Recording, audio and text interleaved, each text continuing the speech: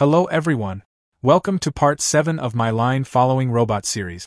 In the previous episode, I explained how to handle sharp turns, stop points, T-junctions, and cross intersections. In this video, I will show you how to calibrate sensor values for different types of tracks, then save those values permanently in the EEPROM. If you're new here, make sure to subscribe to my channel and turn on the notification bell so you don't miss any upcoming videos.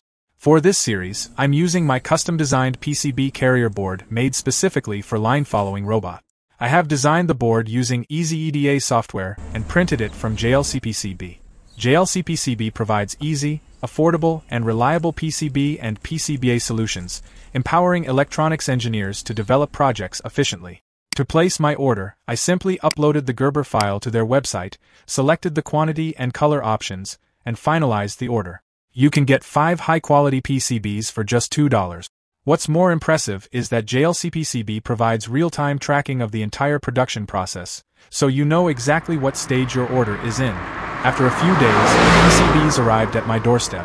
The quality of the PCB was top notch. Then I assembled the board with the required component.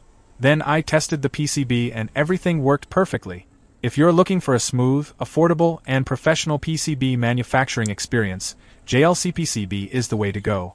You can order this board directly from us, and when you purchase it, you'll receive a fully functional operating system with an OLED display, which is completely free with the carrier board. To place an order, simply visit our Instagram, WhatsApp, or Facebook page.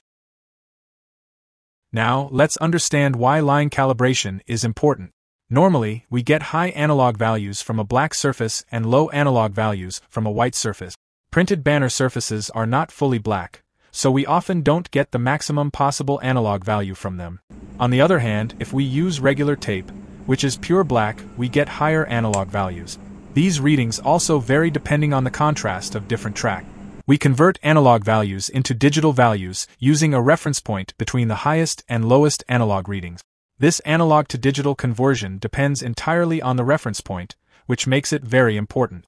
For example, the Arduino Nano has an analog range from 0 to 1023, so the reference value is 512. If the highest value from the sensor is 900, the reference becomes 500. If the maximum value is 700, the reference becomes 400. If it drops to 400, the reference becomes 225, which is the worst case. If your sensor gives such low maximum values, you should consider changing its circuit. Because the reference value varies depending on the track, we need auto calibration to calculate the reference value for different tracks and save it permanently in EEPROM, so you don't have to modify the source code every time. Let's understand what EEPROM is. EEPROM is a non-volatile memory that permanently stores small amounts of data even when power is off. It allows the microcontroller to read, write, and rewrite data in specific memory locations. The Arduino Nano has 1024 bytes of built-in EEPROM, which stores data permanently in 1 byte cells, holding values from 0 to 255. For a detailed explanation of EPROM, you can watch this video YouTube channel ElectroNoob. Now, let's move to the coding part to implement the auto-calibration routine.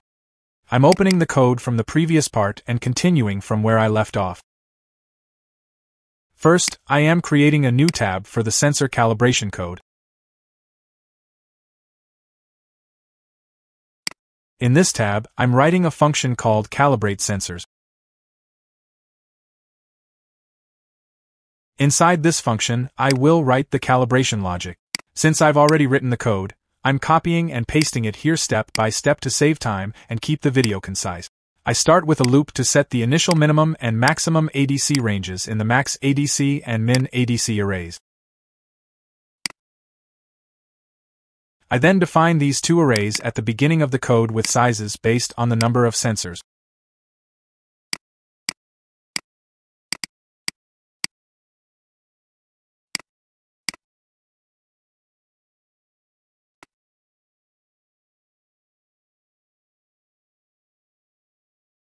Next, I define four directions for the robot's movement.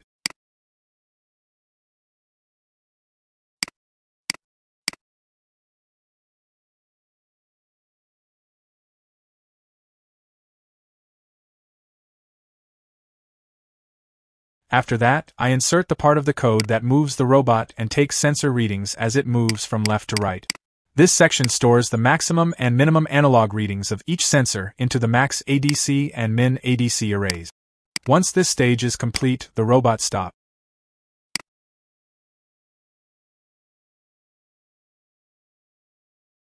Then, this part of the code calculates the reference value by adding the minimum and maximum values and dividing by 2 for analog to digital conversion.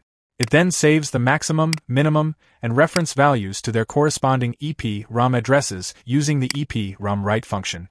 I divide each value by 4 because analog readings can go up to 1023, but Arduino's EEPROM can store only up to 255. Later, while reading from EEPROM, I multiply the stored values by 4. Next, I define an array to store the reference values, again based on the number of sensors.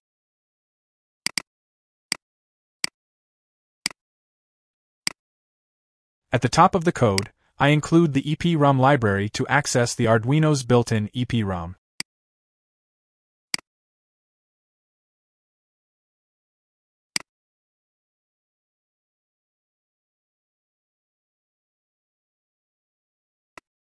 Since we have written the code to save values into EEPROM, we now need a way to load these values whenever the Arduino starts or reset.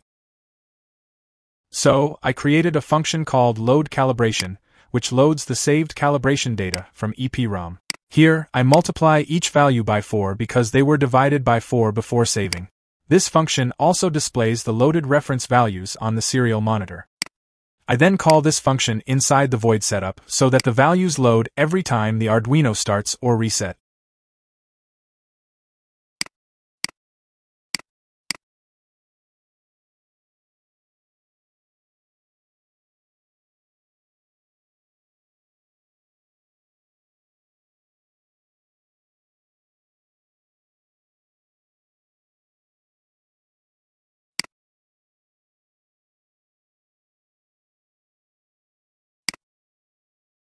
After that, I use the reference values for the analog to digital conversion.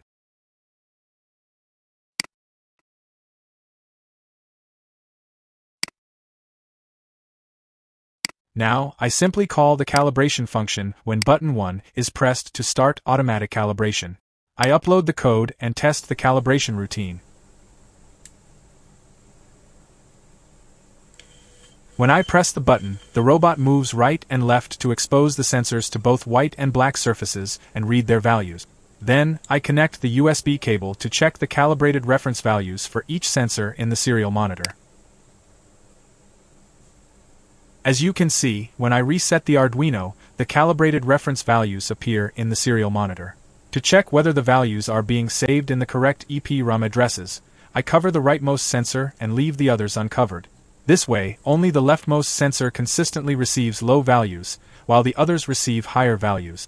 After calibration, I reset the Arduino to verify.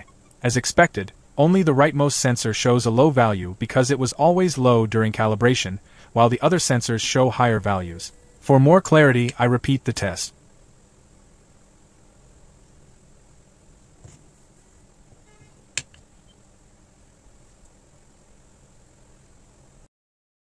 Then, I display the bit sensor values in the serial monitor to check the analog to digital conversion, and everything works perfectly. Next, I conduct a practical test on the track. First, I perform calibration by placing the robot on the line in such a way that each sensor can read both white and black surfaces. Finally, I run the robot, and it works perfectly. That's it for today's part of the video.